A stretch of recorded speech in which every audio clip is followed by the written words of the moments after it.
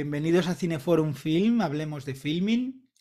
Y hoy toca, como más o menos cada mes o cada mes y muy poquito, tenemos Defiende tu peli, este espacio cultural, como me gusta llamarlo, donde eh, todos nuestros amigos de Cineforum Film eh, defienden una película, vamos, en, presentan una peli que les ha gustado mucho y que creen que pueden ser interesante para el Cineforum.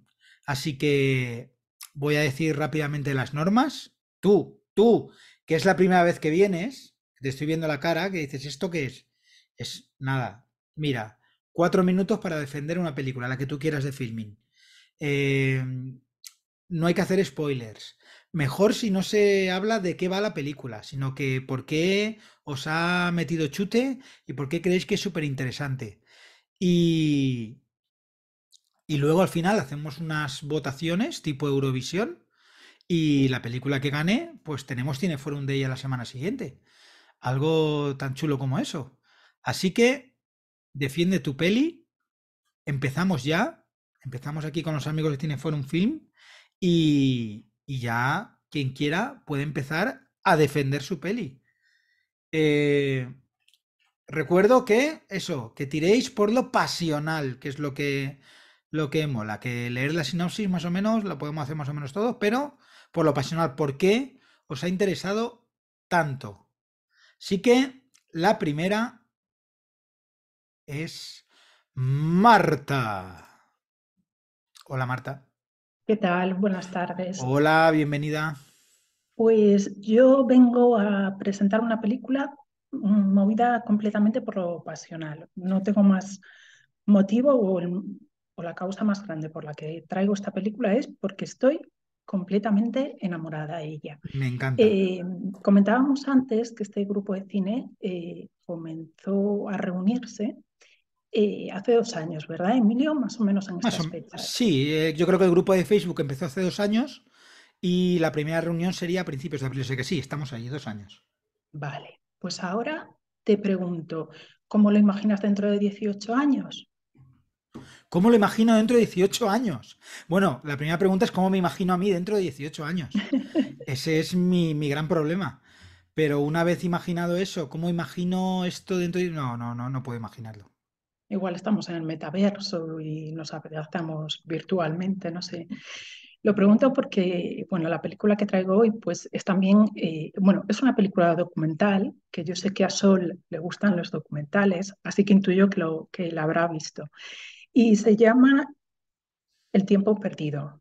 Marcel Proust, El tiempo perdido. Veo muchas ya cabecitas que dicen sí, o sea que la habréis visto. Y, a mí me ha gustado porque, bueno, es un, club de lectura que se reúne durante 18 años y que en realidad el club debería llamarse El tiempo perdido Forum o El tiempo perdido Club, porque solamente habla de esta, de esta novela. Y a mí lo que más, más, más me ha gustado son las personas que participan en, esta película documental. Se trata de un grupito, pues más o menos como nosotros, una docena de personas que a veces vienen gente de fuera o espontáneos o, bueno, invitados. Y, entonces se reúnen, eh, son personas que yo creo que están en torno a los 70 y, y, van comentando la obra de Proust, pero es que lo hacen, es que a mí si hay algo que me gusta en la vida es ver a una persona que tiene una afición, cuando está centrado en esa afición, cómo disfruta, cómo se le ve sereno, alegre, entusiasta. Es algo que me encanta cuando veo, por ejemplo, a una persona hacer fotografías o, dibujando algo que le encanta. Y Pepe no señala así a Belén, no sé.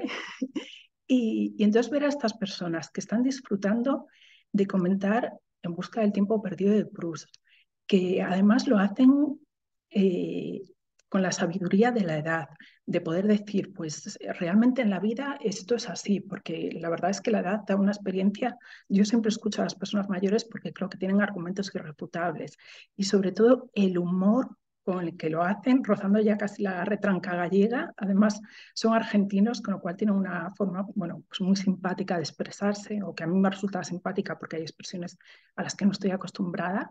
Y, y bueno, pues eh, simplemente son estas personas hablando de este libro Y, la directora les, les, grabó durante cuatro años, eso sí que es verdad. Y sobre la, el formato del documental, hay que decir que os vais a llevar una sorpresa muy, muy grande porque tiene una fotografía fantástica, bellísima. Es, a mí me volvió loca la fotografía.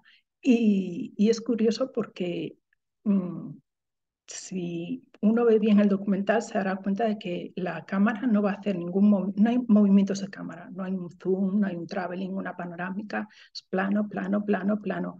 Y a pesar de eso, y de que solo están hablando En busca del tiempo perdido, una novela que yo cuando paso por la biblioteca le digo, la miro con mucho respeto, eh, la película se hace, se hace rápida, o sea, se pasa muy rápido y sobre todo es que te deja una sensación muy entrañable muy de bienestar, de sosiego, de paz. Y yo según fue pasando el tiempo, es que era cada vez más sonriente, más sonriente, más sonriente y vamos, dormí como una pepa esa noche.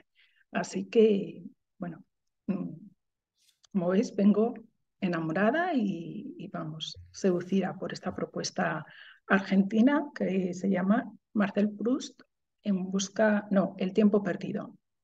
Muy bien, pues nada, muchas gracias Marta que nos presenta Marcel Proust, El tiempo perdido.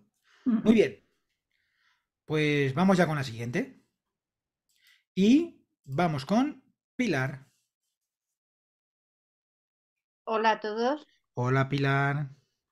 Pues eh, gracias por tu propuesta, Marta, porque a mí también me gustó. Eh, yo os voy a presentar una película que me ha conmovido muy en lo más hondo, porque es un tema muy delicado el que trata y lo trata, a mi parecer, con muchísimo respeto, pero que te, te, hace, te revuelve todas las emociones de, sobre todo, la paternidad, de las expectativas de los que los padres ponemos en los hijos, mm, de, de muchísimas cosas y no quiero contar mucho porque es que hay que verla. Eh, se llama Siempre contigo es un, el padre de un niño autista, bueno, un niño que ya no es tan niño, que es mayor, y la madre lucha por internarlo y el padre pues le cuesta mucho despegarse de él. Pero lo que más me ha gustado es cómo está tratada, cómo está llevado todo el tema y, y, lo que le cuesta al padre separarse del hijo. Y sobre todo hay una cosa que ha roto un tópico tremendo, que siempre parece que la, la que está encima de los hijos es la madre, la, como la que más deja trabajos y deja todo, y en este caso es el padre. Y además de volcarse como se vuelca porque su hijo le necesita de esa manera, no es un padre abnegado, entre comillas, sino que es feliz con su hijo, feliz de estar con él, a pesar de toda la problemática que lleva la convivencia con una persona autista y creo que las actuaciones son fabulosas. Y me gustaría hablar de este tema pues con otras, con vosotros, por eso lo propongo para aquí, para aquí en, Defiende tu peli, porque me gustaría como que conocer un poquito la opinión de todos. Muy bien, pues nada, Pilar nos presenta o nos defiende siempre contigo. Muchas gracias, Pilar. A vosotros. Vamos con Aurelio. Hola, buenas tardes a todo Cineforum. Bueno, pues la película que os que quiero compartir con vosotras y vosotros es una película del año 1960 en blanco y negro que se llama La joven. En inglés The Young One, eh, supongo. Eh, la película, bueno, se llama La joven, aunque en mi opinión el título se queda, se queda un poco corto porque este personaje que está en el centro de la historia realmente es una niña, es una niña de 12 o 13 años que está en un enclave aislado del sur de Estados Unidos, rodeada de, unos personajes que, que crean el conflicto de la película. Desde su padrastro informal que la desea sexualmente, hasta un músico negro que ha llegado allí huyendo de un intento de linchamiento. Y bueno, pues como guinda para semejantes, para semejantes ingredientes, un sacerdote que también ha llegado a ese enclave y que, y que intenta poner orden allí a su manera. Eh, la película, como os digo, transcurre en Estados Unidos y, está hablada en inglés, en su versión original, eh, pero es una película mexicana. Es una película mexicana que se hizo intentando llegar al mercado estadounidense con esta temática que os he dicho, que bueno, está un poco en la línea de, los dramas sociales en el sur de Estados Unidos, estilo Baby Doll, Delia Kazan o, o películas similares, ¿no? Eh, es una película, como os digo, que está, está llena de conflictos, entre otras cosas, porque los amigos del padrastro eh, estarían muy interesados en continuar el linchamiento del músico negro, que no, que no se llevó a cabo. Y bien, eh, la dirige Luis Buñuel. es mm, prácticamente su antepenúltima película mexicana aunque con esta intención de entrar en Estados Unidos antes, de, antes del Ángel Exterminador y bueno, de, Simeón del Desierto. Eh, la dirige Luis Buñuel y yo creo que están, una de las cosas interesantes es que una de las cosas interesantes es que están ahí los dos grandes talentos de Luis Buñuel, eh, no solo el del cineasta que se unió al surrealismo para usar el cine para dar la vuelta a todas las ideas recibidas y sacudir todas nuestras seguridades, sino también el gran director y director de cine y director de producción que es capaz de hacer una película con muy pocos medios y con planos sencillísimos, eh, con muy pocos medios, le saca mucho partido y con planos sencillísimos y situaciones muy directas, te transmite un montón de información y un montón de conflictos. Esta es una película por el tema que podríais entender que es una denuncia del racismo, y es cierto, pero lo más interesante de ella es que es una denuncia, va más allá, es una denuncia de la hipocresía en la que todos podemos acabar cayendo antes o después y una demostración de que, de que no hay moral que no sea doble moral, de que no hay buena intención que no tenga su sombra y todo ello a través de ejemplos prácticos que se dan en la propia situación de la película y con un ritmo trepidante. Eh, eh, la película, bueno, pues no tuvo el éxito que buscaba en Estados Unidos, aunque sí el escándalo. Según Luis Buñuel, su rechazo al maniqueísmo dentro de la película fue la causa de que tuviera poco éxito y de que incluso en los periódicos de Estados Unidos, en algún caso, dijeran que había que ahorcar a ese tipo, ¿no? Que había hecho semejante película tan inmoral. Pues qué mejor que dedicar un cineforum a ver si, si es así. Y por eso os la propongo. Bueno, genial. Pues entonces Aurelio nos presenta La Joven. Muchas gracias, Aurelio. A vosotras. Vamos con Auro.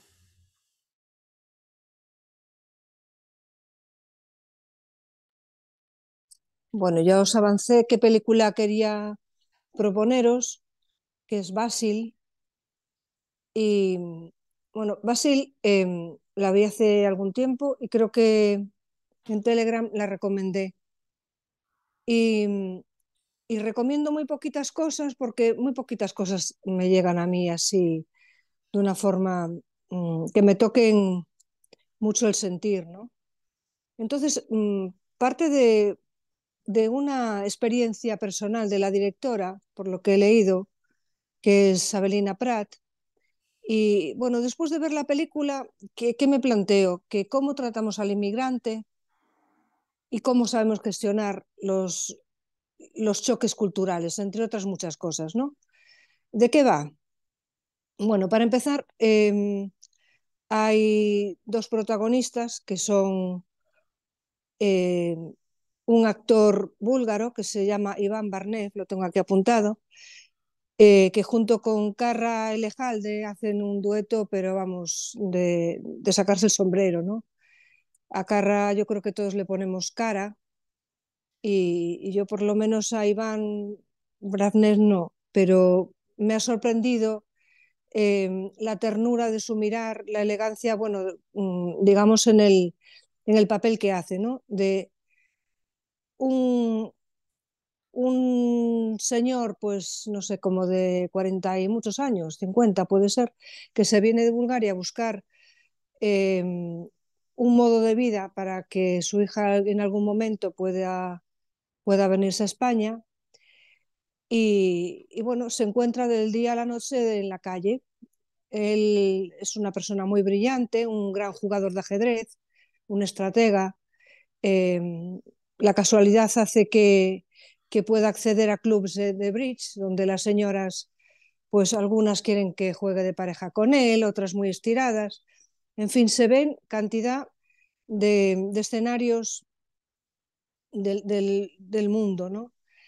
Eh, la relación que llega a adquirir con, mm, con la persona que le cede su, su sofá, realmente le cede, pero poco a poco van ampliando, que es Carra Elejalde, ahora mismo no me acuerdo cómo, cómo se llama en, bueno, en la película. El hecho es que van ganando cercanía básicamente a través del ajedrez.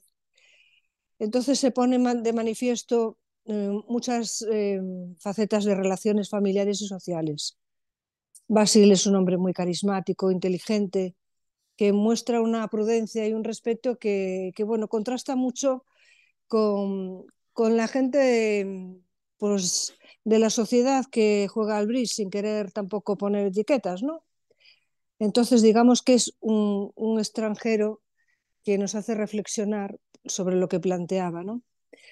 Eh, decíamos el elenco de actores, también acompañan Susi Sánchez, que yo creo que a lo mejor la conoces, una señora delgada, muy alta, que hace un papel cortito, pero fenomenal.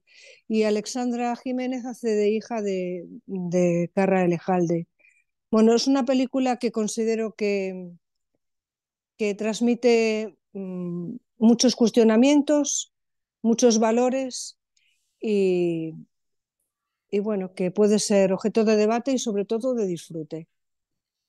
Genial, pues Aurora, eh, como hemos dicho en el pre, que no estábamos grabando ni nada, esta película vamos a hablar de ella el día 11 de, 11 de abril, hemos dicho, creo que sí. Uh -huh. eh, 11 o el 9, ¿no? ahora no me acuerdo qué, qué día he dicho. Pero bueno, Te lo apunté el, yo por el- aquí. en mi memoria, ¿sabes? El 11, el 11 de abril. Entonces va a venir la, la directora.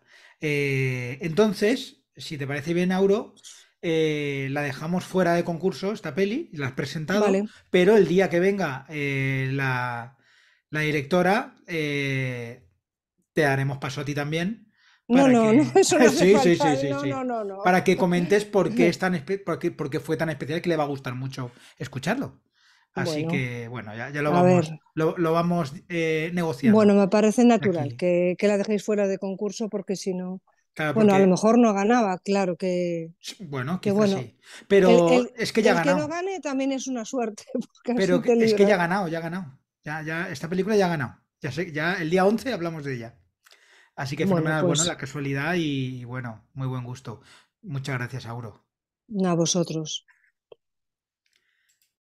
Vamos ahora con, con Belén o con Pepe Tono, con, con, con Pepe Tono. Vamos para allá. Y sigo animando al resto de, de participantes que me levanten la mano para, para defender su peli. Adelante. Eh, buenas tardes. Buenas.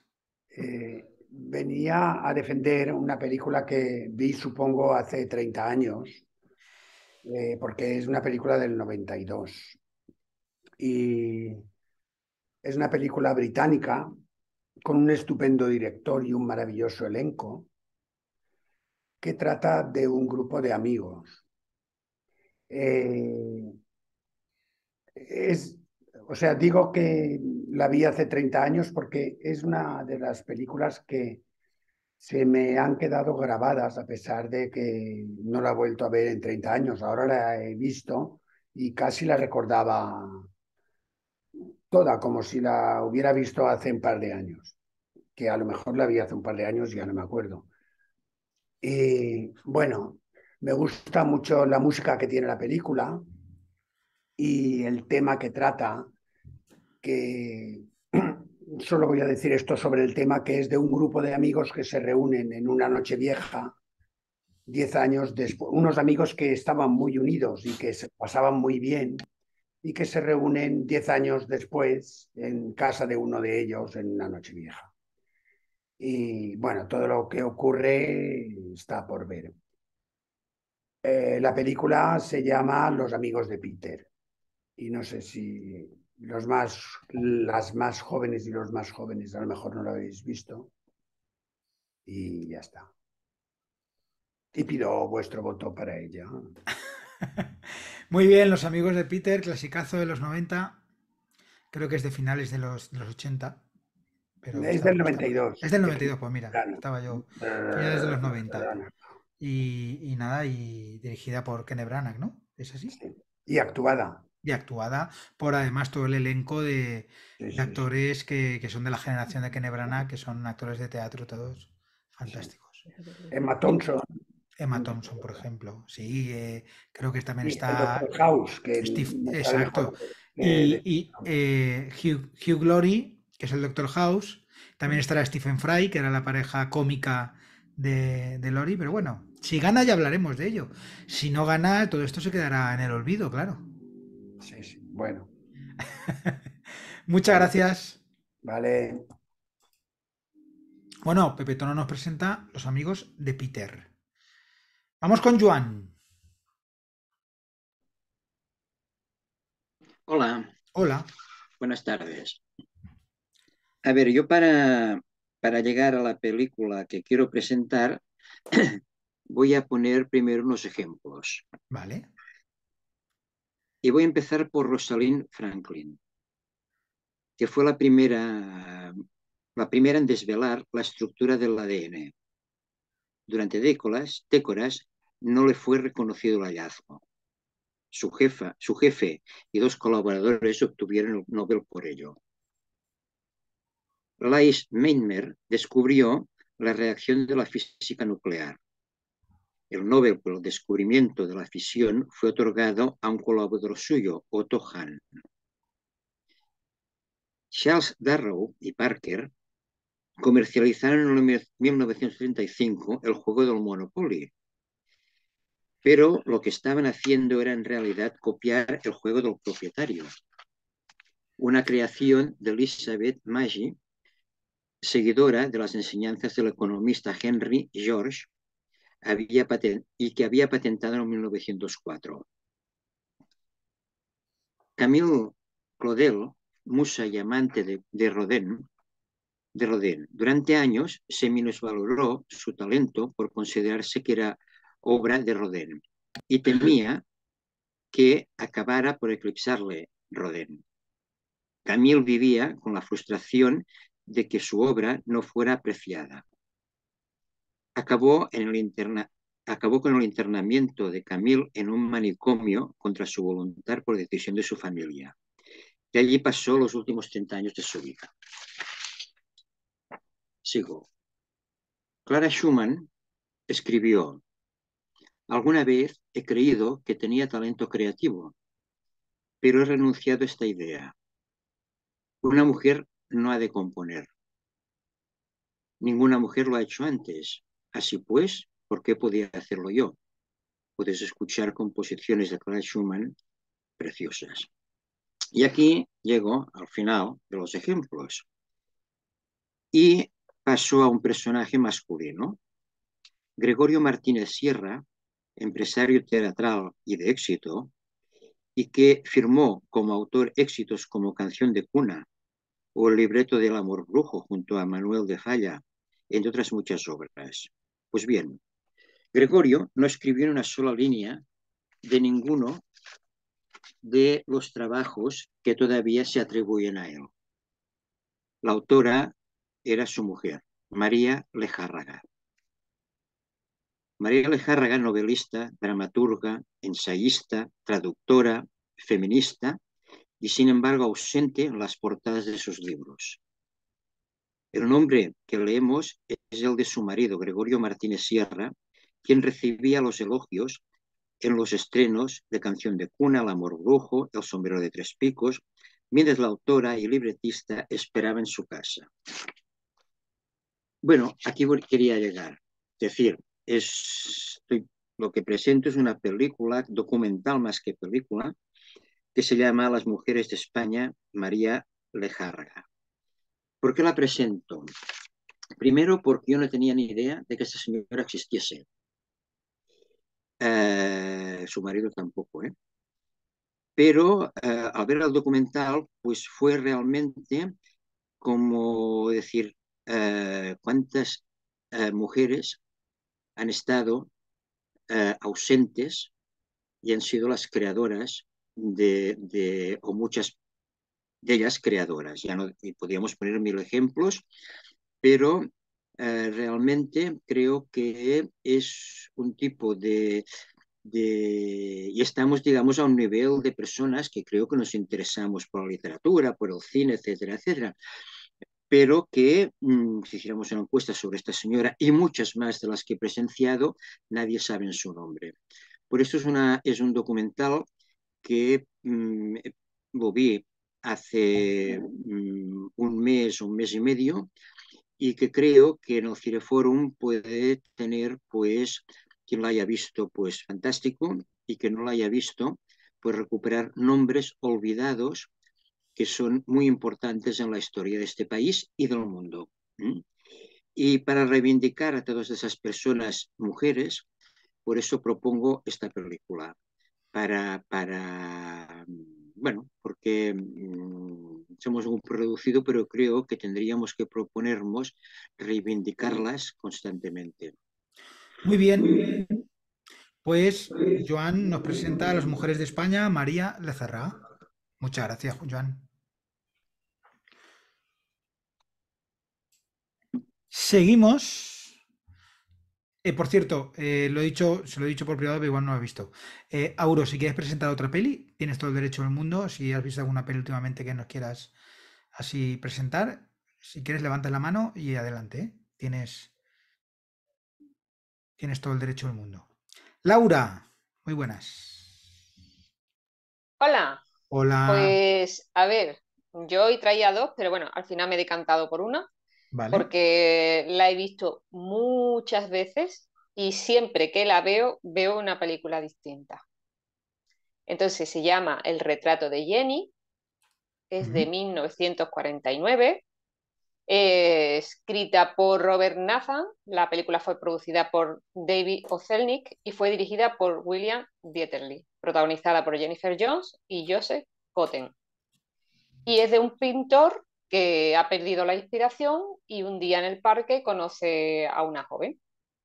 Una joven que se va encontrando en otros momentos y que se va convirtiendo en una bellísima joven a intervalos de tiempos muy cortos. Y esta joven pues con un secreto que tenéis que descubrir.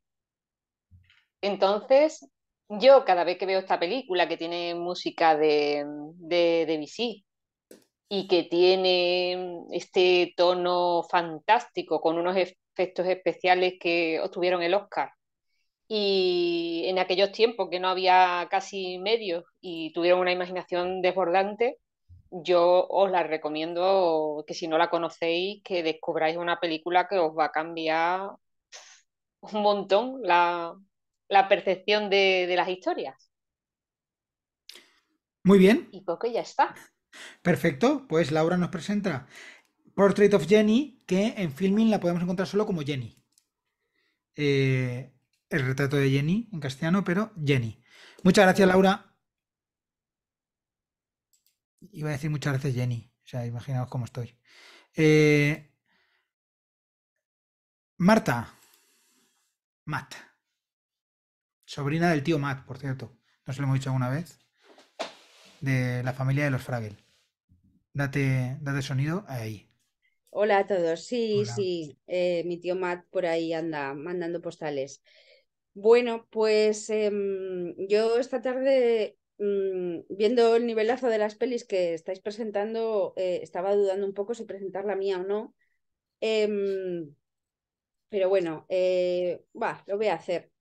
mi película es Bloody Oranges eh, sería como naranjas sangrientas, en francés es eh, orange sanguines, y mm, eh, bueno, no es, la, no es la típica comedia francesa al uso de conflictos familiares o historias románticas.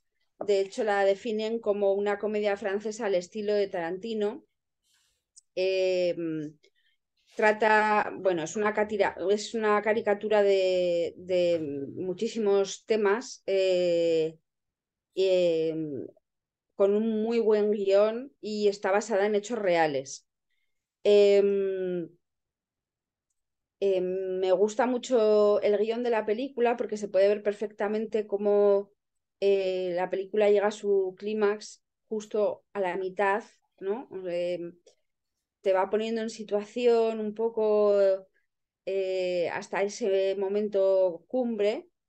Y, mm, y bueno, em, el director dice de su película que es una descripción realista del mundo. O sea, es una comedia al estilo de Tarantino, francesa, eh, y su director dice que es una descripción realista del mundo ahí lo dejo. Me ha parecido interesante y me ha dejado, es de estas películas que después de verla, eh, aunque sea comedia, pues em, como que la tienes que digerir un poco, ¿no? Bueno, como todas las pelis de Tarantino, yo creo. Pues Marta nos presenta Bloody Oranges, que estuvo seleccionada en el Festival de Filming. Sí, ha tenido, sí, bueno, en el Festival de, Cannes y, y luego eh, también ha estado nominada en los Atlántida de Mallorca, en el Festival Europeo de Cine Fantástico de Estrasburgo y el My French Film Festival en la sección oficial en el 2020. Y el director se llama Jean-Christophe Maurice. Una película diferente, la verdad es que totalmente diferente. Muy bien, pues Marta, muchas gracias. A vosotros. Marta nos presenta Bloody Orange, Oranges. Y turno ahora para, para Belén. Sí. Hola. Que, eh, una cosa que Pepe Tono. Ah, creía que estaba debajo, que se había agachado para no salir, que no esté incómodo, digo. No, está preparando algo por ahí. Muy bien. Eh, yo eh, voy a, mm, a presentaros una peli eh, una peli de animación. Y es una peli de animación de un, de un director francés, pero que ha vivido, vivió mucho tiempo en África y entonces es una, yo la he considerado siempre una peli de animación africana. Y en ese sentido mm, siempre me ha parecido especial. La que hay en Filmin es eh, Kirikou y las bestias salvajes. Eh, yo la que conocí, y es la precuela de la película que yo conocía, que era Kirikou y la bruja. Y bueno, es una película pues que te llega, a mí por lo menos me llegó siempre como película de animación. Es muy colorista, es un paisaje africano eh, que es muy vital, muy alegre, muy y luego tiene una cosa que a mí siempre me captura en las historias, en las películas, y es que tiene la estructura del cuento fantástico. Eh, es un, Kirikú es un niño muy pequeñito. Eh, en Kirikú y la bruja es muy divertido porque eh, nace solo, su madre no le tiene que parir, entonces es muy, es un, es un, tiene muchísimo poder pero el poder de Kirikou es el de la inteligencia para salvar obstáculos que siempre gasta para socorrer en último término a la comunidad eh, frente al conformismo de la tradición, que está representado siempre en, las, ambas películas por el brujo y por una vecina que siempre le critica. Además, la película tiene una música maravillosa porque es la, de, la del músico senegalés Youssou N'Dour, y, desempeña un papel en la película, bailan, eh, están todo el rato bailando y, luego una cosa que, que bueno, me, asombra por, el, eh, por la frescura que tiene, eh, mm, es decir, todas las mujeres van con el pecho desnudo y, nunca yo he oído que pasara nada, ¿no? y es una película muy libre, muy fresca y que triunfan los pequeños, eh, los que parece que no tienen poder y por la generosidad y la inteligencia. Y bueno, siempre me ha fascinado esa película. La veía cuando mi hijo era pequeño y ahora esta otra de las bestias salvajes pues está en filming y yo creo que es una, por lo menos por curiosidad, eh, vale la pena mm, verla. Muy bien, pues Belén nos presenta Kirikou y las bestias salvajes. Muchas gracias. Vamos con. Vamos con Ramón y Sol. Concretamente, yo creo que Sol. Sí, hola, buenas tardes. Hola. Pues yo os voy a presentar una película que he visto así recientemente que se llama Adam, que es una película marroquí de Mariam Tuzani, que es una película que es muy intimista. Me ha gustado por eso, porque eh, se desarrolla la amistad o, o en un principio la colaboración que después deviene en amistad y, en algo más potente como eh, un choque entre personas, entre dos mujeres en Casablanca, las dos muy dolidas por, su, por, la, vida, por la vida que llevan. Una es viuda, otra está embarazada. Entonces, hay primero mucha suspicacia para ayudarse, pero al mismo tiempo se quieren ayudar. Y, bueno, y después deviene otra serie de problemas que, bueno, que no los voy a decir porque son un poco parte de, la trama final. Pero lo que más me ha interesado de la película es la forma del rodaje en un espacio diminuto. Eh, no te da la sensación de agobiante, sino simplemente ves como una, es decir, es como es una pastelería donde se fabrican pasteles y, bueno, pues es un espacio pequeño, sin embargo, da mucho de sí, da mucho de sí para claroscuros, para eh, la relación entre las mujeres, entre los clientes y bueno.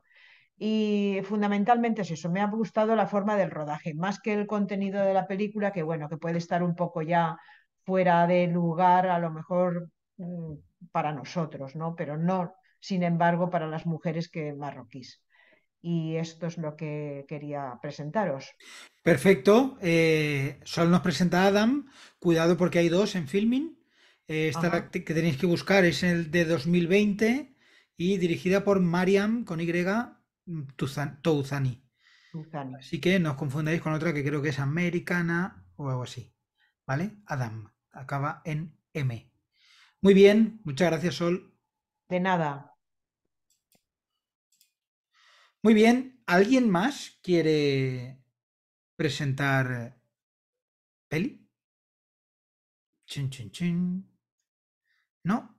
Bueno, pues yo voy a recomendar, que yo estoy fuera de concurso, pues ya hace años que estoy fuera de concurso, pero voy a recomendar un par de pelis que, he visto y que creo que os puede interesar. Una es de filming y la otra no.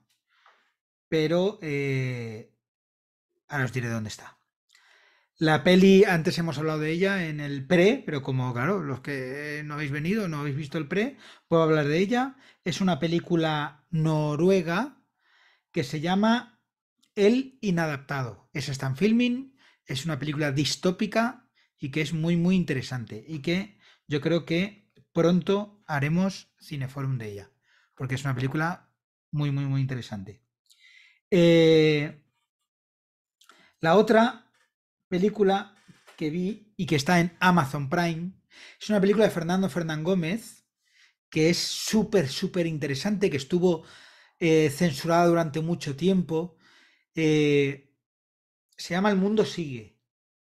Es una película preciosa, muy feminista y, y, y, la verdad es que no quiero hablar mucho de ella, pero vale la pena verla. Está en, la tenéis en Prime eh, de verdad que, que, vale la pena ver un poquito cómo, cómo Fernando Fernán Gómez se mete en ese mundo que, claro, tú la estás viendo y dices, ¿cómo puede ser que, que el franquismo haya aceptado esto? Bueno, pues hubo mucha, mucha polémica con esa película, además acaba muy fuerte, no voy a decir cómo, una película muy interesante. Y voy a recomendar, antes de dar paso a Regina, que he visto que ya me ha levantado la mano, eh, voy a recomendar también a, a un director que, es un tipo curioso, que también ha hecho películas aquí en España. Él era un diplomático, es Edgar Neville. Tiene películas muy interesantes. Es un tipo que, que era muy amigo de Alberti y de Lorca, pero estuvo combatiendo con el, en el bando nacional. Y, y bueno, hay un montón de cosas así que, que te vuelan la cabeza. Y la película que vi es posiblemente la primera película ecologista es- española y yo creo que, que mundial, que se llama El último caballo, que está protagonizada por Fernando Fernán Gómez y habla de eh, un, uno que está haciendo la mili y que se acaba y que, está haciendo la mili a caballo, en, creo que es más en Alcalá de Henares, y que le da mucha pena que se lo lleven a la corrida de toros, entonces se lo lleva a Madrid. Y claro, en los años 50 un caballo ya no es para ir por Madrid, lo aparca en la calle y todas estas cosas. Una película divertida, no es nada del otro mundo, pero es, es bonita, es, es- es entrañable. Y sobre todo porque, porque, por eso, por el tema del ecologismo y, del tema de, la veo una película muy antitaurina, para, además para la época. Eh, no está en Amazon, que me pregunta Marta, esa está en Flixolé, ¿vale? Eh, y, bueno, este Edgar Neville tiene cosas muy interesantes, rarísimas. La Torre de los Siete Jorobados, creo que se llama. También es una película, un, cine negro policíaco extraño, muy desquiciada la película, muy, muy interesante. Yo creo que Edgar Neville es un director que, que- que vale la pena eh, redescubrir, porque además es el director que, que tampoco se ha hablado mucho de él, sí, se ha hablado de él y tal, pero tampoco mucho. Él incluso se fue a Hollywood, fue uno de los que llevó a Buñuel a Hollywood. Eh, un tipo muy interesante, Edgar Neville, hijo de un diplomático británico, creo. Y bueno, y bueno, y aparte era, yo creo que era duque, era duque por parte de abuelo o de abuela.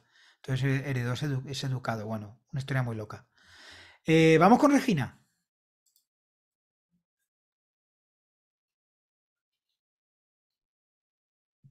No me has activado. Sí, ahí estás, te estamos oy- Ah, oyendo ya. Ah, Lo que pasa es que ahora has desaparecido. Ahora, ahora te ahora. vemos. Hola, buenas tardes. Bueno, ha llegado la primavera para Regina ahí con ese. Eso es un almendro, ¿no? Cerezos, Es un cerezo, ah, vale, un cerezo. cerezo en flor. Muy bien. Bueno, pues yo, em, eh, gracias a, a la 2 de Televisión Española, em, he descubierto una faceta de la que yo pensaba que era solo actriz, eh, además actriz secundaria. Hola, sí. Te, te seguimos escuchando, pero no te vemos.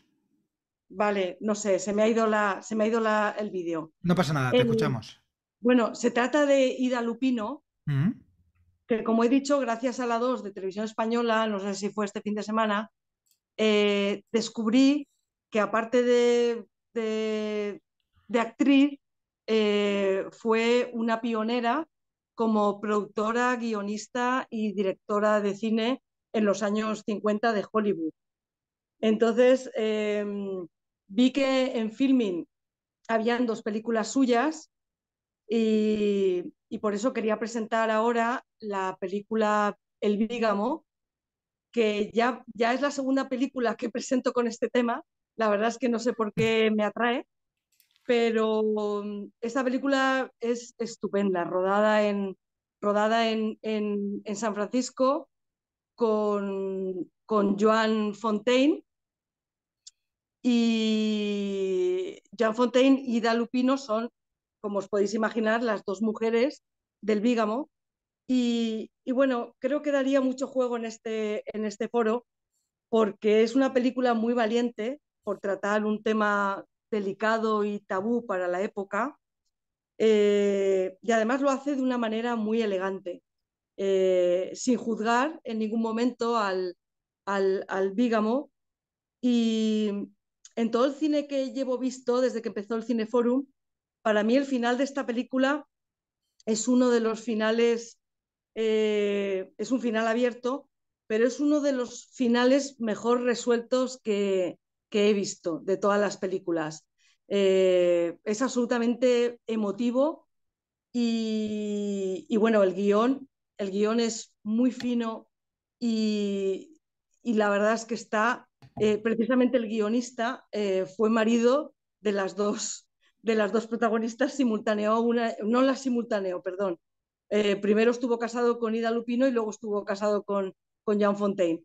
Creo que las conoce bien y, por eso, o en parte por eso, es un guion realmente eh, muy, muy acertado. La película yo creo que, que os gustará y es muy interesante que sea de una directora que en los años 50 pues fue, fue pionera. Muy bien, pues Regina nos presenta el Bígamo de Ida Lupino. Muchas gracias, Regina. Pues nada, vamos a vamos ya a las votaciones. Si no hay nadie más que levante la mano, vamos. Hoy está realmente difícil. Hoy vamos, eh, tenemos de todo: clásicos, modernos, documentales. Vamos, maravilloso.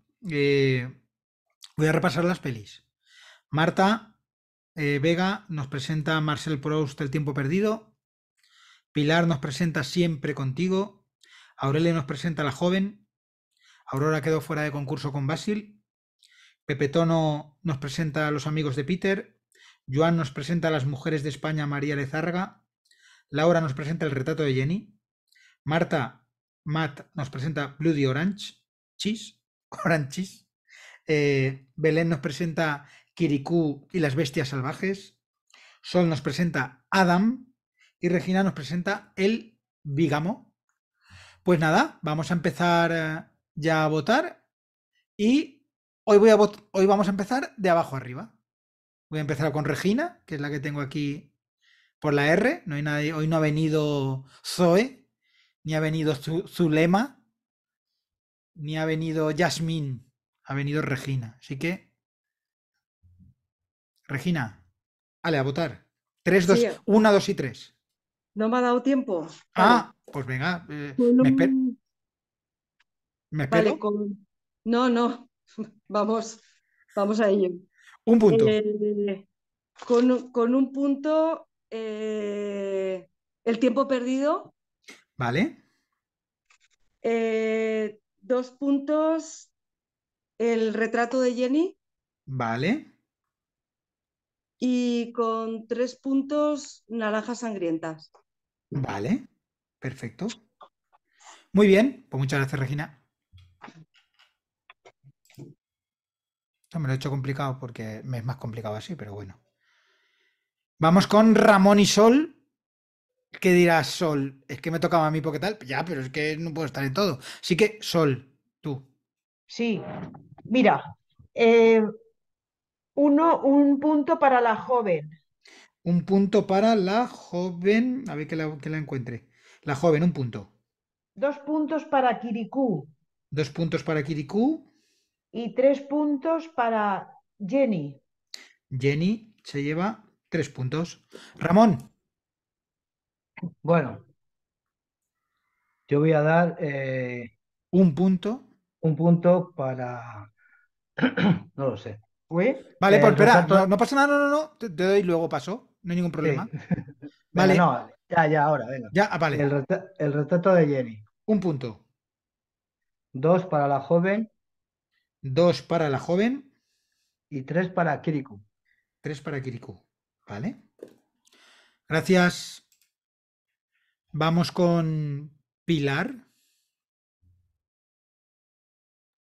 A ver, un punto para las mujeres de España, dos para el tiempo perdido y tres para la joven. Vale, muchas gracias Pilar. Vamos ahora con Pepe Tono. Creo que ahora lo he hecho bien. Pilar, Pepe Tono, sí, ¿no? Un punto para la joven. Vale. Dos puntos para el bígamo. Vale y tres puntos para eh, naranjas sanguinas. Naranjas sanguinas, perfecto. Muy bien, muchas gracias. Vamos ahora con Marta Vega. A ver, que esta tarde está muy, muy, muy difícil, ¿eh? Sí. Bueno, pues un punto para Kirikou. Kirikou un punto. Dos puntos para Bloody Orange Dos puntos para Bloody Orange. y tres para Jenny. Tres para Jenny. Muy bien, gracias. Vamos con, con la sobrina del tío Matt. Marta. Hola. Hola. Eh, pues yo le doy un punto a las mujeres de España, Un punto a las mujeres de España. dos puntos para Marcel Proust, El tiempo perdido, Vale. y tres puntos para los amigos de Peter, Vale. que yo esa la defendí también hace un año Sí, o medio, y al Fíjate que esa no, no, no- no me acordaba. no salió. Pues mira. Muy bien, gracias. Laura. Pues yo doy tres, hay un No, no. punto para, Uno, uno.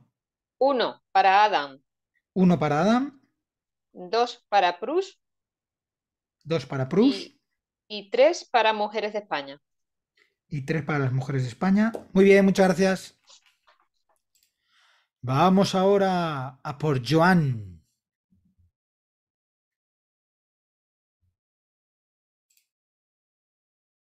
No te escuchamos, Joan.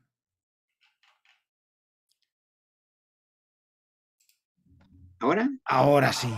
Vale.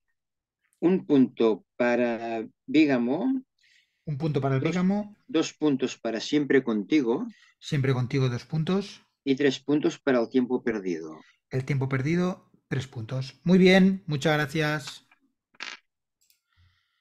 Vamos con Gloria. Un punto para el tiempo perdido. Un punto para el tiempo perdido. Dos puntos, siempre contigo. Siempre contigo, dos. Tres puntos, el bígamo. El Bígamo, tres. Madre mía, esto me parece que está súper reñido. Muchas gracias. Vamos con Belén.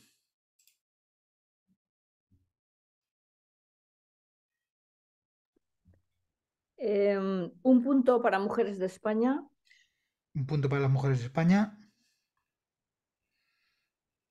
dos para Siempre Contigo Vale. Y tres para El Tiempo Perdido. El tiempo perdido, tres. Muy bien, muchas gracias. Vamos con Auro.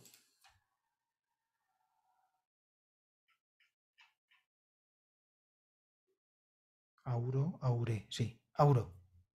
Estaba yo pensando cuál va antes. A ver, ¿Ahora me escucháis? ahora, ahora sí, ahora sí. Sí. A ver, un punto para siempre contigo. Siempre contigo un punto. Dos, el tiempo perdido. Tiempo perdido dos. Y tres, las mujeres de España. María Lejárraga. Mujeres de España tres. Muy bien, muchas gracias. A vosotros. Y Aurelio. Eh, bueno, un decir que si no hubiera quedado fuera de concurso por lo que ha sido, habría dado, un habría dado votos para Basil. Sí. Y no lo digo por quedar bien, o sea, era la, la intención que tenía lo- al ver la película. Y bueno, ahora la votación real. Eh, un punto para Adam, Vale. dos puntos para Kirikou Kirikou 2 y tres puntos para Naranjas Sangrientas. y Naranjas Sangrientas 3. Y si se me permite un accesit, eh, Sí. Retrato, Retrato de Jenny es una película excelente, pero estas las veo más para Cineforum. Vale. Muy bien. Muchas gracias. Estoy haciendo el recuento ahora.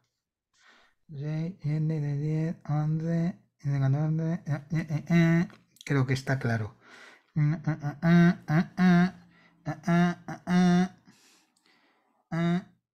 Vale. Lo que a mí me ha, me ha parecido.